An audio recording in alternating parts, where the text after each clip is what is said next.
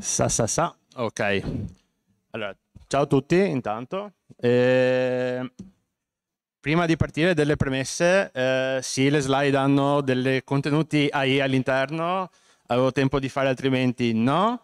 Eh, non vi dirò quali sì, quali no, alcuni sono ovvi, altri no. Il testo no, il testo no, questo no, l'ho scritto io anche se in realtà sono solo dei, mm, dei suggerimenti perché allora il tema è enorme e questo è un 101 molto veloce per, farvi, per darvi un'infarinatura dei termini e delle cose che eh, riguardano l'idroponica.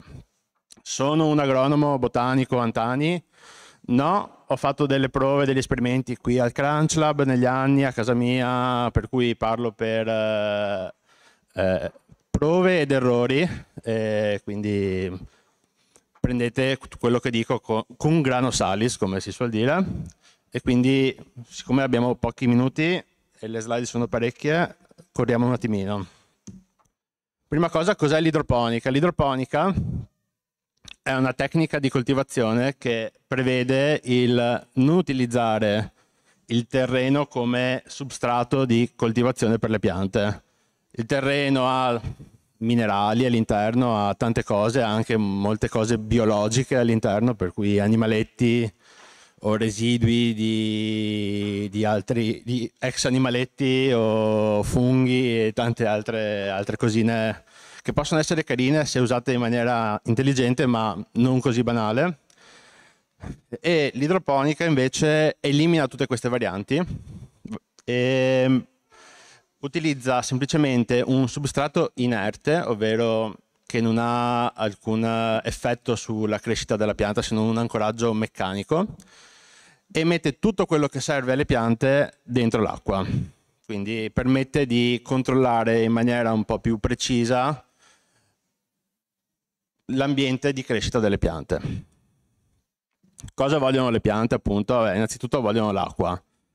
E mi sembra abbastanza banale, eh, tutti gli esseri viventi la vogliono e quindi anche, anche le piante la vogliono.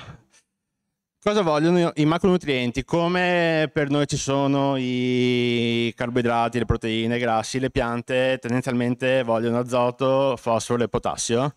E la stragrande maggioranza dei fertilizzanti che trovate in commercio, idroponica o meno, sono fertilizzanti che hanno queste cose, quindi NPK, e li trovate con un numero sotto 20, 10, 10 che vi dicono quant'è la, la quantità di, eh, di, azoto, di fosforo e di potassio. In base a questo poi vi, vi regolate, poi mm, se diamo un'occhiata. Vogliono i micronutrienti, non so, come le vitamine per noi. E qua, scusate, ci sono un sacco di, soprattutto metalli o cose simili. Eh, di solito nel terreno ce, ce, ne sono abbastanza, nell'idroponica bisogna aggiungerli alla soluzione eh, di nutrimento. Non, è, non, sono così critici, però in realtà delle deficienze possono creare dei problemi abbastanza gravi, tipo la foto che vedete a sinistra è una deficienza di molibdeno. Eh, ci sono delle, delle, liste di se le tue foglie sono fatte così, ti manca questo, questo, questo elemento, però se usate dei prodotti abbastanza commerciali per, per, come fertilizzante, di solito queste cose sono gestite in maniera abbastanza trasparente. Le fasi di crescita delle piante sono tre fasi principali e poi a volte si ripetono, a volte no, dipende dal tipo di pianta, però ovviamente la prima è la germinazione e quindi dovete piantare se volete, però di solito per l'idroponica conviene piantare il semino perché comincerà a fare le radici nel vostro substrato inerte, invece se le andate a comprare in serra ve le venderanno con la terra, quindi dovrete ripulirlo. Ed è un'operazione abbastanza stressante per la pianta, per cui piantare il semino e farlo germinare, step 1. Step 2 la crescita vegetativa, che è quando vedete proprio la pianta crescere in volume e poi arriverà un punto in cui la pianta decide è giunto il momento di riprodursi e quindi fare fiori e poi fare eventualmente frutti.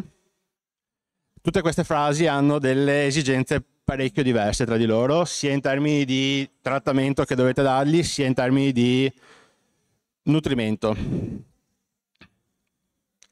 Varianti dei sistemi idroponici. Allora, ci sono tre macro famiglie. L'idroponica standard, avete le radici immerse, immerse o comunque costantemente bagnate dalla soluzione nutritiva. Le piante si ancorano dai substrati inerti, tipo lana di roccia o argilla, e dopo vedremo questi sistemi, eh, vedete l'elenco, ma adesso dopo ci, ci passiamo tutti quanti, eh, quindi via. L'aeroponica, forse l'avete sentita nominare, è molto simile con la differenza che invece di bagnare le radici in maniera diretta viene nebulizzata sia con ugelli a alta pressione sia con fogger, quindi a ultrasuoni. E questa cosa aiuta a ossigenare le radici perché le radici devono respirare, hanno bisogno di ossigeno, anche se sono sottoterra di solito, ma hanno bisogno di ossigeno. In realtà eh, il fatto di averle esposte all'aria sembra una buona soluzione per una soluzione infallibile per gestire l'ossigenazione, in realtà spruzzare troppo, troppa acqua, nebulizzarne troppa può portare all'effetto opposto e saturare l'acqua e satur sì, saturare l'atmosfera e anche quello può avere effetti negativi però. Questa variante è la più ehm, efficiente dal punto di vista dal punto di vista del, del consumo dell'acqua ed è quella utilizzata per le applicazioni un po' più estreme, tipo nella Stazione Spaziale Internazionale provano queste cose qua. L'acquaponica invece all'opposto è una soluzione diciamo un po' più fricchettona e, ehm, ed è letteralmente idroponica normale con la differenza che invece di gestire in maniera uh, molto cauta e manuale i nutrienti nel, nell'acqua, si utilizza un, un, mix tra idroponica appunto, e acquacoltura in cui i pesci nella vasca, nel serbatoio del, dell'acqua idroponica con le loro deiezioni diciamo, uh, danno i fertilizzanti per le piante e le piante a loro volta invece filtrano l'acqua e dovrebbe essere un sistema in cui entrambi eh, hanno giovamento, diciamo, ma sono cose che forse queste sono più, cioè, a livello industriale questa cosa non si fa, però, o meglio, non ne ho, non ne ho, non ne ho notizia, però può essere carino a livello casalingo, diciamo, anche per una sensazione di naturalezza, se vogliamo, che di solito nell'idroponica viene un po' persa. Allora, sistemi più comuni di idroponica, li avevo elencati prima, adesso andiamo uno per uno. Allora, ce ne sono molti altri, ce ne sono tantissimi.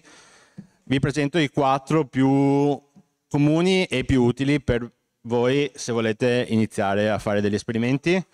Allora, quello più non è basic perché non è il più semplice, però è il più comune, troverete più documentazione, si chiama Nutrient Film Technique ed è come potete vedere dallo schemino c'è un serbatoio con una pompetta e l'acqua viene mandata al, all'ultimo piano delle piantine.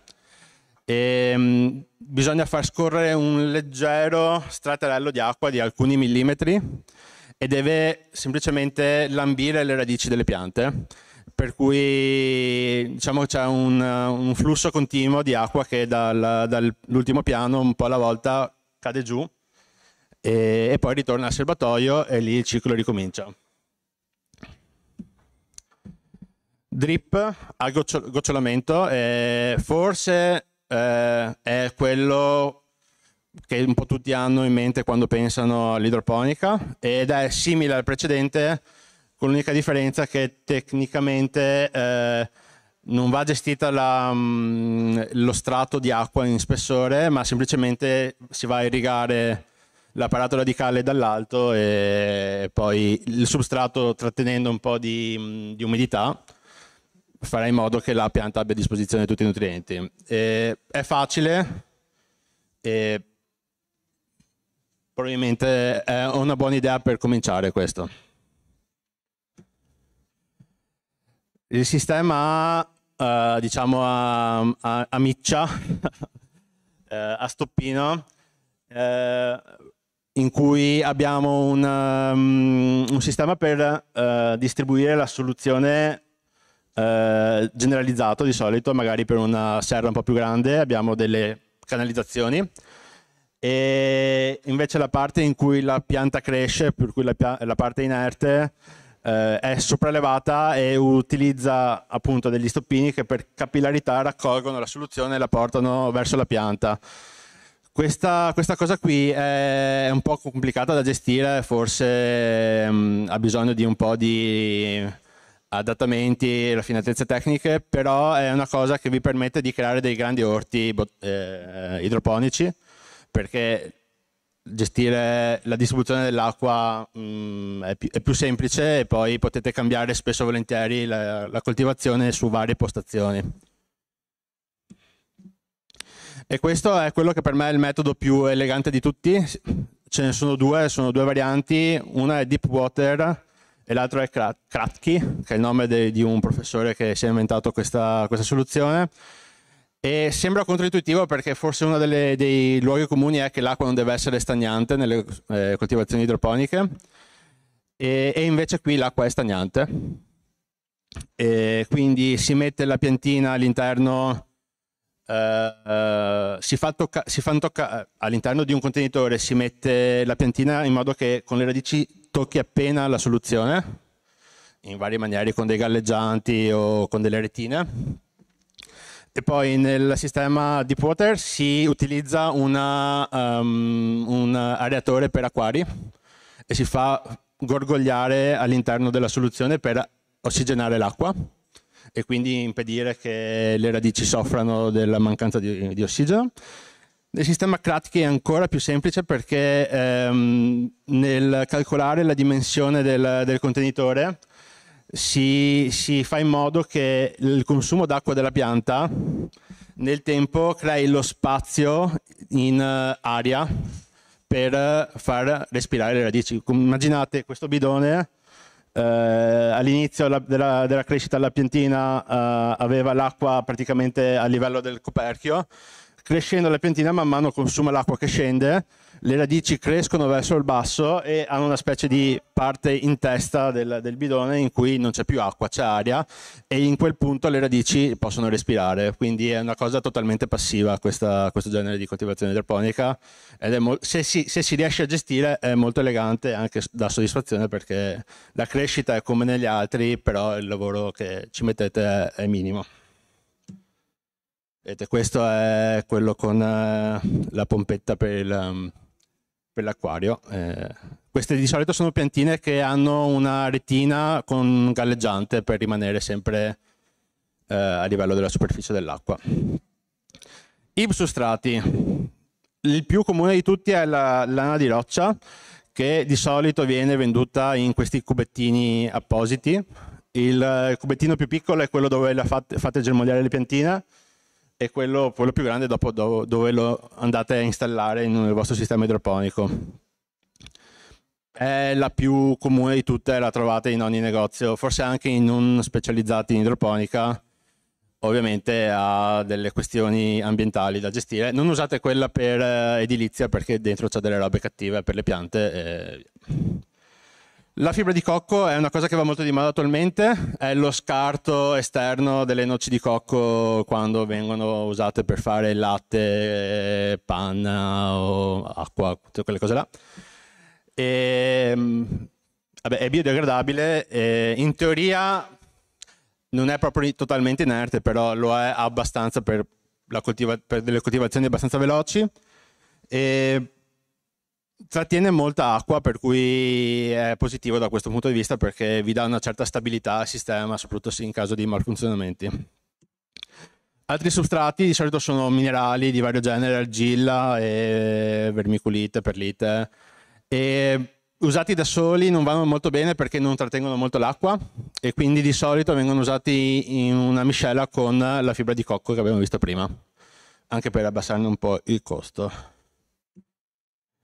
Strumenti che vi servono per cominciare. Allora, due strumenti che vi servono e non si può fare a meno sono il pH-metro e l'ecimetro, cioè la conduttività elettrica dell'acqua.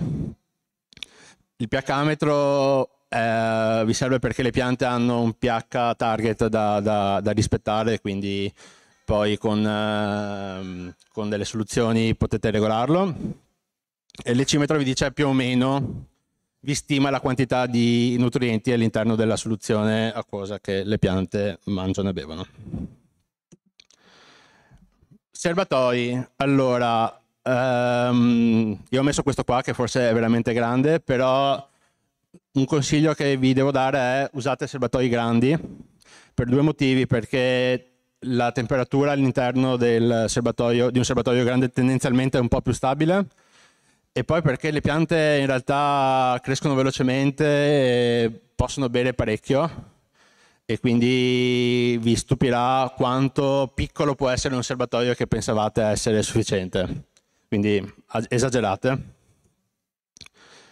Pompe, se, se, il sistema che volete usare tipo drip lo prevede, pompe, da acquario, da, da quel che volete, ce ne, sono, ce ne sono di tutti i tipi. Chiller, eh, dipende dove volete fare la vostra coltivazione idroponica, se forse la fate indoor non è così fondamentale, se la fate in esterna in estate è abbastanza importante avere qualche tipo di raffreddamento perché eh, le radici non, non, gradiscono una temperatura troppo alta e poi ci possono crescere cose dentro, quindi meglio tenere la soluzione fresca. Se invece stiamo in indoor, le lampade, eh, delle lampade non vi dico troppissimo, se non che adesso vanno tanto quelle a LED e va bene. Eh, le foglie delle piante sono verdi perché riflettono la luce verde, quindi altre, gli altri due componenti della luce vengono assorbiti tendenzialmente e quindi le vedete rosse e blu di solito. La percentuale di rosso e la percentuale di blu di solito viene gestita in base alla fase di crescita, come vi dicevo prima, fase vegetativa e, e, e fioritura. Eh, io non ho mai avuto un'esperienza diretta con, con la coltivazione indoor, per cui non vi so dire molto da questo punto di vista ma penso che per chi vuole coltivare pomidori, come abbiamo detto all'inizio, uh, ci sia un sacco di documentazione in, in tema.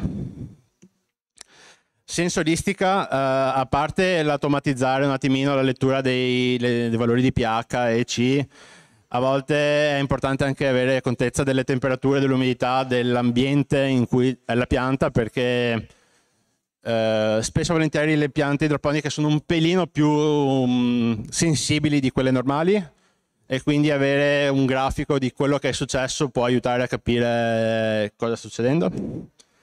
Grow box, sempre per i pomidori come potete vedere, eh, di solito è la soluzione principale perché ci si possono mettere dentro dei filtri a carboni attivi per evitare che il vicino senta troppo odore di pomodori e, e, aiuta anche a mantenere un'atmosfera controllata, appunto come dicevamo, di umidità e temperatura. Microcontrollori, siamo all'ESC, vi ho detto co cosa serve prima, immagino che possiate mettere tutto quanto assieme e automatizzare un attimo il discorso e questa è una cosa che probabilmente ognuno fa da sé ed è un gusto che eh, nessuno vuole togliervi. Vantaggi e svantaggi. Allora, le coltivazioni idroponiche hanno maggiore resa? Sicuramente, sicuramente, crescono molto più velocemente. E se torniamo un attimo indietro, vediamo, avevo questa, la pianta a sinistra era idroponica, la pianta a destra era su terra, sono state piantate nello stesso momento e quindi già vedete la differenza di velocità di crescita ma eh, non ho foto da questo punto di vista, ma anche come quantità di produzione di solito di frutta o quel che volete voi eh, è, è, superiore. La qualità dipende, dipende da che nutrienti usate e da come gestite le piante in realtà, perché non è garantito, cioè, così come nell'orto normale non è detto che i vostri ortaggi vengono sempre tutti molto buoni, eh, anche in idroponica non, non dipende dal, da, da quello. Tendenzialmente però se voi fate le cose fatte bene in idroponica il risultato è potenzialmente più buono, maggiore. Risparmio idrico, ovviamente, potete coltivare tutto l'anno in indoor, crescita molto veloce, riduzione di parassiti e malattie perché eh, non abbiamo a che fare con i terreni. Allora, dicevamo, eh, riduzione di parassiti e malattie perché mh, eliminando il terreno eh, togliamo la principale fonte di, di questi problemi. Eh, in realtà gli insettini che volando arrivano sulla vostra pianta ci possono essere lo stesso, però quelli ve li gestite con una retina oppure in indoor. E... C'è un po' di fischio forse? Ok. E, ehm, e, quindi, non so, molte piante, ad esempio, soffrono di problemi fungini per, dal terreno, proprio magari anche irrigando gli, le goccioline di acqua, rimbalzando, portando del, del materiale sulle foglie, eh, fanno ammalare l'intera pianta, per cui questo è un problema risolto. Mm, mi sembra molto chiaro che questa immagine sia stata generata, come potete vedere dall'incapacità di scrivere in maniera corretta, ma non importa. E, ok, sì, i sistemi idroponici costano di più che, fare, che scavare una buchetta in giardino e piantarci la pianta dentro. Quindi è un investimento da fare, se, se volete divertirvi a, fare questo, a provare a, fare queste cose qua, uh, va tenuto in considerazione pompe, luci, chiller richiedono a volte molta energia elettrica, soprattutto in estate per il chiller, consuma un sacco di, di watt, quindi anche questo da, da, valutare, soprattutto in ottica, se, se, volete farlo per sentirvi più green, perché il vostro consumo d'acqua è, è più basso, in realtà se l'energia che usate non è da fonti rinnovabili magari è una cosa da considerare. Temperature, è uno dei problemi più grossi di tutta la coltivazione idroponica, bisogna gestire le temperature. Il 90% dei problemi che avranno le vostre piante saranno legati a temperature errate. Sì, e ovviamente l'ambiente esterno tenterà in ogni maniera di rovinarvi il giochetto, eh, per cui mandandovi magari in estate giornate da 40 gradi, eh, oppure a me è capitato il riflesso di una finestra vicino che scaldava il serbatoio in maniera particolarmente eccessiva, per cui insomma...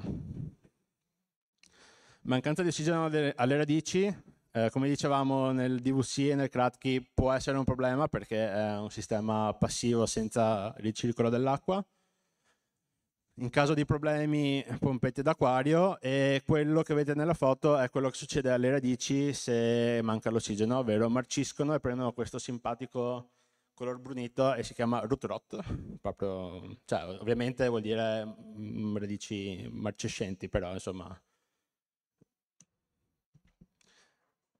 Ok, dopo un, dopo un, buon tempo di utilizzo, la soluzione nutritiva che magari avete creato nel vostro mega serbatoio all'inizio della coltivazione, con un ricircolo potrebbe accumulare um, dei sì, diciamo che le piante potrebbero utilizzare non tutti i nutrienti nella stessa maniera e potreste avere dei disequilibri nel rapporto appunto tra tutti i nutrienti all'interno della soluzione. A volte è arrivato il momento in cui eh, non c'è niente da fare, magari la, la togliete e la date ad altre piante nel giardino normali con la terra, perché tanto male non li fa, e dovete farla ex novo. E quindi c'è, un po' di spreco, soprattutto se volete fare coltivazioni particolarmente lunghe, oppure con piante che non hanno un ciclo stagionale. Guasti tecnici, è bellissimo come la ISI sia pensato che se deve fallire un sistema idroponico debba andare a fuoco la piantina così. e, e, però tutto quello che non c'è non si può rompere. Siccome noi stiamo aggiungendo molte cose, molte cose si possono rompere. E quindi è vero che magari la manutenzione eh, quotidiana è più bassa di un, un orto, una coltivazione normale, però eh, bisogna stare attenti, bisogna fare un po' di check continuo che tutto sia ottimale. E ultimo problema, forse, forse, quello più rognoso di tutti, è, sono i problemi microbiologici. Eh, se la vostra soluzione è troppo calda, ma in realtà basta anche sbagliare un attimino la sanitizzazione dei tubi, dei vasi, è semplicissimo contaminare il sistema e vi ritrovate con uh, tanta puzza. E alghe e batteri fanno biofilm, fanno cose così sulla superficie. E poi eliminare queste cose qua è, è rognosissimo, bisogna sanificare con uh, ipoclorito di sodio a go-go e cose del genere, per cui insomma Può essere, e può essere anche difficile avere successo nel sanificare un sistema idroponico, per cui questa è una cosa se volete provare da subito siate super molto puliti. Diciamo, se avete mai provato la produzione di birra o simile, ci vuole un livello di cura paragonabile. Quindi lo faccio, ni. Cioè io mi sono divertito a farlo, sono un po' di anni che faccio diversi esperimenti, mi sono divertito molto, ho speso molti più soldi di quello che avrei speso per ottenere le cose in altra maniera o comprandole direttamente, eh, però siamo qui per il divertimento, quindi se, se la cosa vi, vi intriga provate.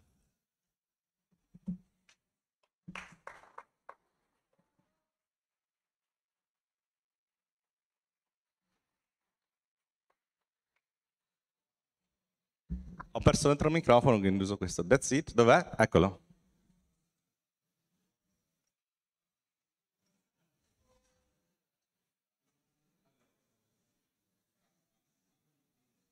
Ah, ah, eccoci. Allora, veloci domande perché siamo un po' tirati coi tempi. Marco? Domanda da 100 milioni. E, ehm, le persone che hanno poco spazio riescono a fare una cosa di questo genere secondo il tuo modesto giudizio? Um, sì, però comunque fai conto che il minimo della pena, secondo me, è, vediamo se trovo la foto giusta, è più o meno questa la dimensione che devi impegnare.